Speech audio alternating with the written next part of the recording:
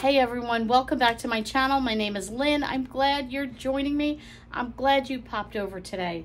So what are we doing today? Well, I I'm in a in a weird spot in life and I'm trying to dig out from it. So maybe this will help somebody else out there. I love when I listen to other YouTubers talk about their life or where they're at at life sometimes, you know, some of them whine and complain. So I, I don't want to whine and complain. And when they do, I end up turning the video off. But hang on, don't turn it off because I have a solution. But I do like to hear the realities of people's worlds. And then, you know, are they coping with it? Are they getting through it? How are they getting through it? Um, what are their solutions? The solutions don't always work the first time. You have to tweak it. So where I'm at, I just showed you a quick little snippet of part of my day at work. Work has changed. I've had three people resign in my department. We have other departments. People have, you know, you go through seasons in any business where people move on to, you know, a different lifestyle, a different whatever, you know, they want something different. So we're in a process of, you know, tweaking that and changing and hiring and but we're in the height of our busy season. This is summer here in New Jersey, you know, beach fun, all the rest. And I'm at a conference center. And people are coming away for their family vacations. And that's part of my job is to give them a good experience. So what's happening? So right now, because of shifting in my department and hiring and training and internships, I, for a few days here and there, will be in a temporary office, which is fine. It's a bigger office.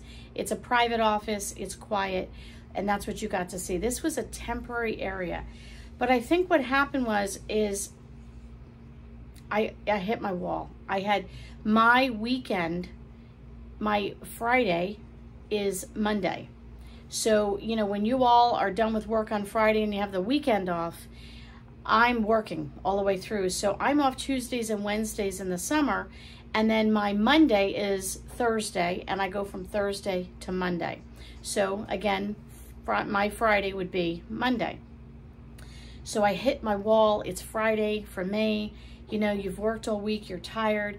Now I go in, it's the beginning of everybody else's week who had the weekend off and they're all refreshed. And I'm like, I worked all weekend. I'm pooped. I'm tired. It was a long weekend. And then I was in a temporary office and I had a slew of work. I'm ahead on some things and behind the eight ball on others. And I had a last minute meeting that I thought was going to be 20 minutes. It turned out an hour and a half. It was a necessary meeting. It was a good meeting. It was great. All these things were good. And my podcast that was supposed to upload last week never uploaded. So it's uploading, I think today. Today and my one that I recorded for today will be uploaded next week. All those, I had to reorganize all of that and just a lot of stuff. And it was funny because my one coworker said, I'm usually up front in the front part of the office and people are always coming and asking questions. Now I'm working in the back of the office and she thought, she said, because you're back there, I didn't think anybody would find you, but the line was like, out the door, I have a question, I have a question. And it was all good. I mean, none of it was bad. It was just, oh. so I had to sit down and really regroup. And you saw I had my planner on my desk and I had to think, I felt like everything was out of control and I felt like I couldn't get a grip and I couldn't focus.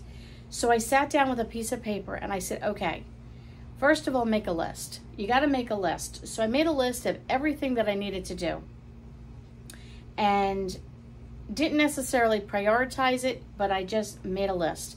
Then I took a highlighter and I highlighted the three things that I knew. You know, they always say your top three. If I, by midnight tonight, these three must be done. And then I kind of starred another three that like this would be secondary and the rest hoped to get done, which did not get done.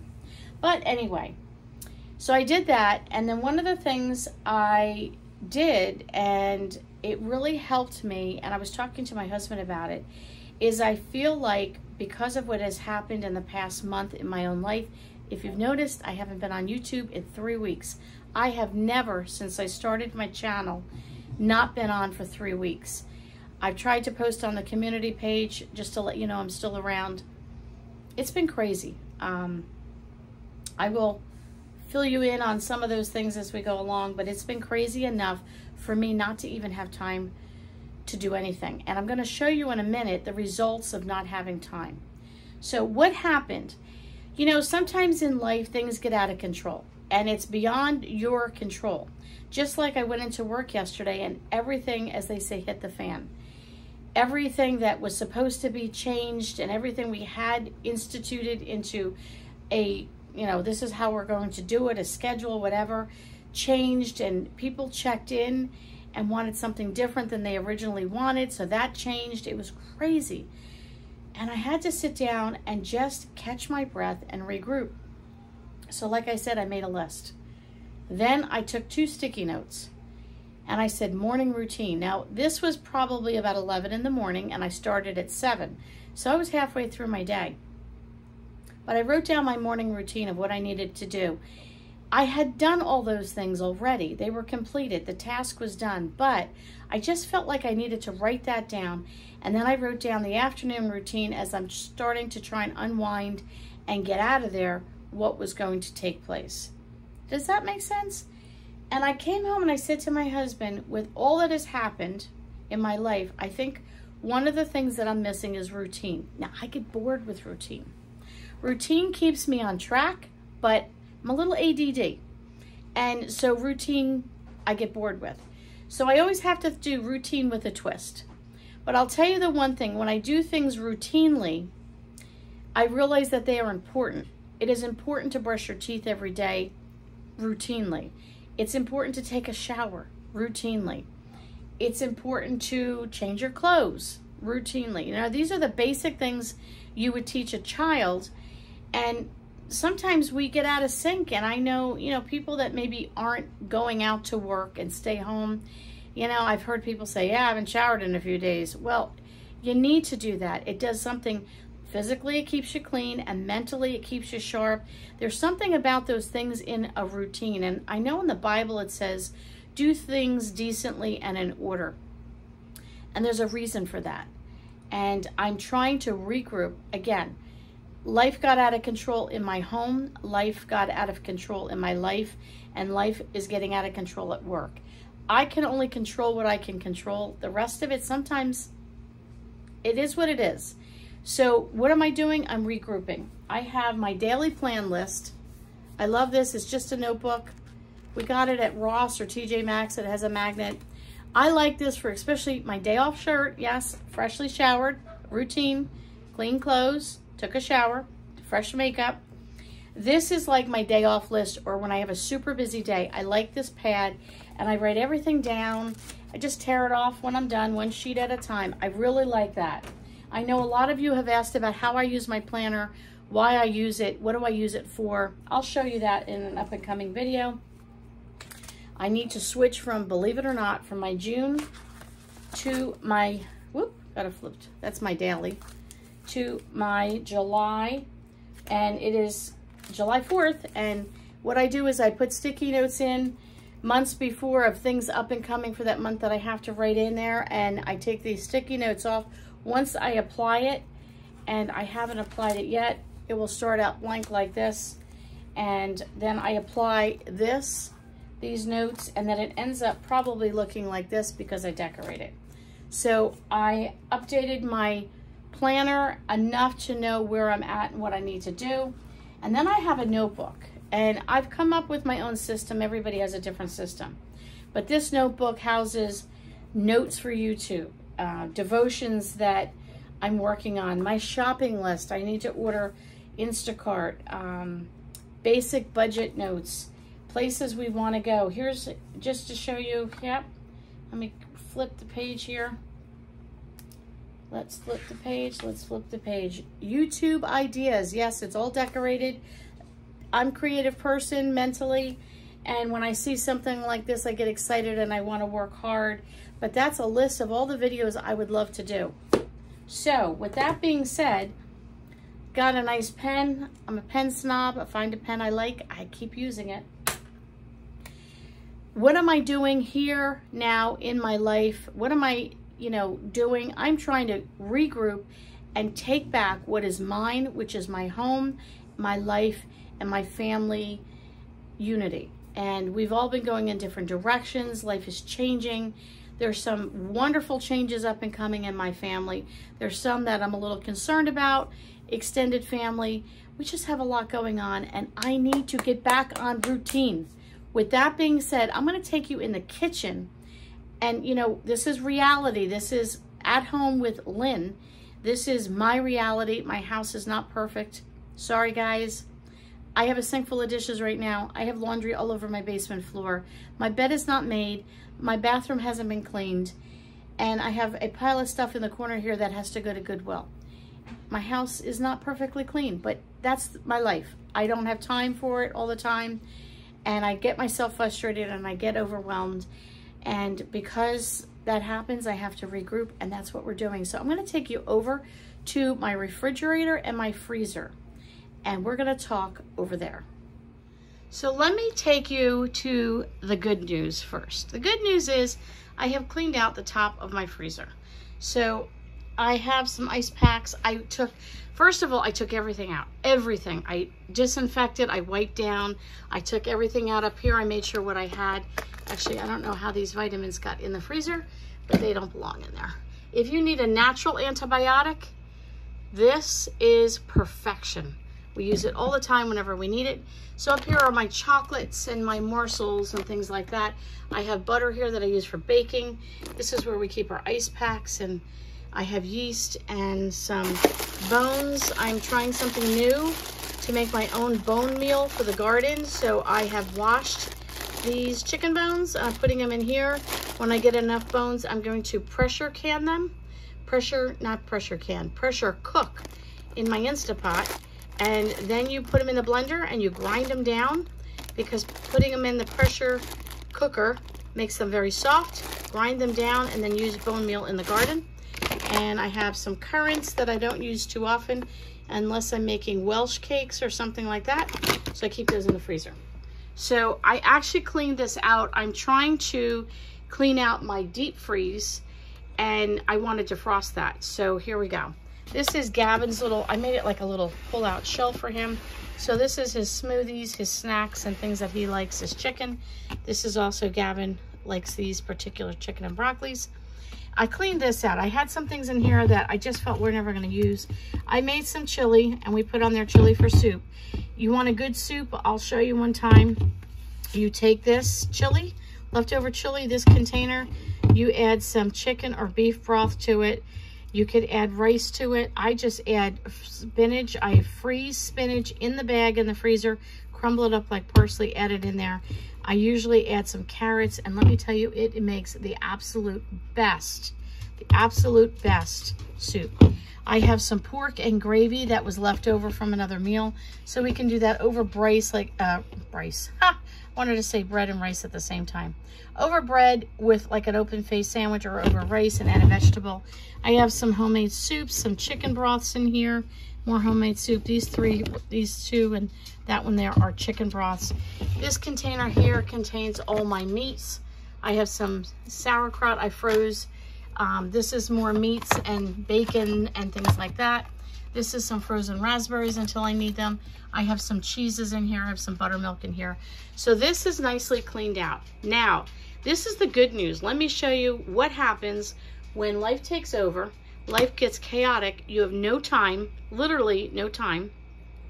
You work all day. You come home, whip something together for dinner, run out the door, get home 9, 10 o'clock at night and climb back in bed and do that for three weeks straight. This is what will happen. Yes, my friends, you were seeing the reality of three weeks of a refrigerator that is a complete and utter disaster. There you go. This is reality. This is my reality. Anybody want to come over and clean it for me? We don't know what's in here. I said to my husband, there could be a live animal in the back there and I wouldn't know it. Now, granted, the milk, I have almond milk and regular milk and some juices are bulky. We have containers of vegetables I need to sort through. We have some takeout. Yes, we did takeout. We've been very busy. We have no room to put things. We stacked them up here. Things just got shoved wherever and whatever we could do. So my job right now is to, as you can see, things have spilt. I, yeah, look at that. Somebody put a Chinese food container in there and it's all over the place. See that? More food up there. So we are right now going to completely disassemble this refrigerator, clean it out. I'm going to salvage what I can, reorganize what I can. Whatever's in here leftover-wise is what's for lunch. After that, we're going to a barbecue. It, I'm telling you, it is an absolute mess. So yes, you get to see the reality of my home. Here's a picture. Yes, my sink is full of dirty dishes. Why is that? Well, we're going to a barbecue. I made a homemade cake. I'm getting ready to make homemade frosting. I had to make pasta in here. So I'm making a uh, pasta salad that I make for every barbecue. I'm going to show you how to make it. It's user-friendly. It's probably sitting in your pantry and you can pull it together very quickly and easily, budget-friendly. And I made some garlic roasted potatoes. I'll put a picture up top here of in the air fryer. I parboiled some potatoes, just diced them up. They smell so good. I put olive oil, salt. I did not do pepper. I forgot to do pepper. I might add that at the very end. And what else? Garlic and onion powder. That was it. Parboiled them in water, chopped up like this. Then I put them in a bowl while they were nice and hot, added the olive oil and all the seasonings, threw it in the air fryer for about 20, 25 minutes till they up. That is traveling with us, so that's, I love these deli containers. Pop it in here get the lid on it, and it's ready for traveling. I will use the same size container. There's probably, how many of us? One, two, three, four, five. I think five people today. I don't know how many will eat it, but I'm gonna make this pasta salad and put it in a container like this. This pasta salad, by the way, is great for a side dish for any meal. It's great for any salad that you need to take to like an open house party or, you know, any barbecue or anything like that. As well as it's a great meal to have in the refrigerator if you need a quick go-to lunch, especially in the summer on a hot day. So we need a can of peas for that. I have to open that up and I'm using a little can because I'm making a little salad. Can of tuna. I have to drain that, so we'll get that going in a minute. I have some baked beans. Uh, you know, to me, you can't have a barbecue without baked beans. So I will not use all that. I probably will bring a container size of this. And for those that want some, there's not that many that are going to eat it. Bring back whatever we don't use and freeze. And I have these containers in a smaller, you know, like maybe an inch high. And then I will just break whatever's left from the can into those and freeze it and get that out of the way. Then I have some chips in a big box. This is a box of how many? I don't even know. 50 bags. Got that at BJ's, 50 bags right here. Let's see if you can see that. Something's blocking it. I don't know. There you go, 50 bags. And um, got that at BJ's. I figured that would last us. We took it to one party we already had. Graduation party for my youngest son with just our small family. We're doing it for the barbecue today. Road trips over the next several weeks. This will last us all summer. Pick these up at the Dollar Tree, bring those over to the barbecue as an extra. And then my son does not eat macaroni salad. He loves macaroni, but not cold. He won't eat potatoes unless they're french fries. Very particular. He'll have chips. We're having chicken. We're having hot dogs. So I am going to make him boxed macaroni and cheese. I have been making homemade macaroni and cheese with the Velveeta sauce. And he has come up with his own recipe. He likes corn added to it. I don't have any fresh, so we'll use canned. And he likes scrambled eggs. I do a stir fry uh, rice with, with the scrambled eggs. He won't eat eggs, but he'll eat it in this. No problem. You're gonna eat it, I'll feed you. So I just did three eggs in the microwave for two minutes. You know how to do that. And so we're gonna make macaroni and cheese. We're gonna add the corn. We're gonna add the egg. He will be a happy boy. He'll have a hot dog he'll have a piece of chicken and he'll be good to go. So let me show you how I make that salad before we wrap this up. All right, guys, thanks for coming along on my journey today. We have lots of videos up and coming. If you hear pitter-patter of little feet, that is Kip walking back and forth on my kitchen floor. My husband just cleaned it last night, did a good scrub on my floor, so he is, I think, enjoying the slippery feeling on his toes. Go lie down. No, he thinks this is for him. It is not. So we're gonna close with this. So what I did is I had a little bit of Shell's noodles. You can use elbow. You can use any pasta you have. You could use penne pasta. Doesn't matter. I had these. That's what I'm using. Then you take, I like chunk light tuna. That is tuna of my choice. My mom likes albacore. I like the flavor of this, and I also like how easy it is. Albacore to me is very hard to break up. Here's a tip though. This tuna was drained. My husband always drains it for me. Hang on one second. I got to take care of this dog. So back to the tuna. So I like the chunk light because it breaks up easier. But um, yes, drain your tuna. My husband puts the lid, after he takes it off, puts a lid on it and presses and presses and presses. The drier it is, the better in the salad. If you add it wet, it just makes the salad a little slimy, I guess you'd say. So drain your tuna. Canned peas. You can use frozen peas if you want and cook them. I don't think it adds the same flavor. You do not have to use the brand name. It happened to be what I got. Um, don't use the brand name. I only stick to brand name tuna. I don't know why. I've tried off brands. I don't like them. So here we go. We take your macaroni. You add your tuna.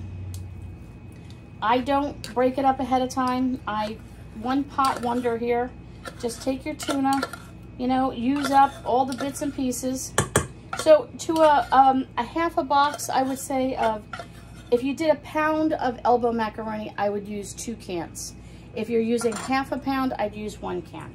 And then I just break the tuna up a little bit with the back of my spoon, just to almost like, to the point where it's covering all the noodles on the top. That's good enough, because it's all gonna mix together. Then I take my peas and I put in probably half a can. I just, yeah, I'd say that's about half. I don't know how many peas. I don't want to overload it. So there we go. Actually, I need, to, can you hand me that spoon? I don't like to put the tuna spoon in the mayonnaise. You know, you don't like all the extra bits. At least I don't in here. So let's add some mayonnaise. I'm going to add one. I'm going to add two. Then I'm going to add three heaping spoons.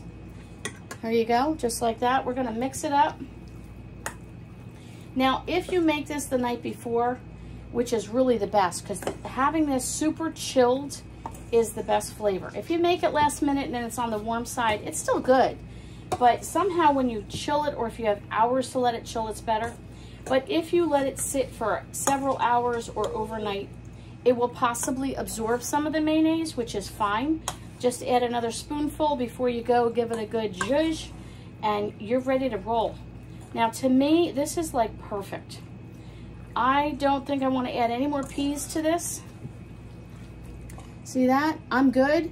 I'm not going to add any more peas. I'm going to save that half a can of peas.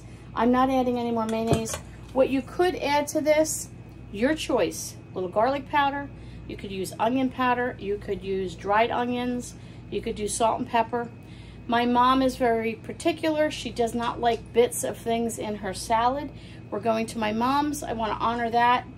So you can add to that some pickle juice. You could add some sliced carrots, some celery. You know, this bowl could look like you want it to look. We went super simple, budget friendly. All this stuff came out of my pantry. I didn't have to think about it. Hope you enjoyed that recipe. And stick around, we got some more videos up and coming.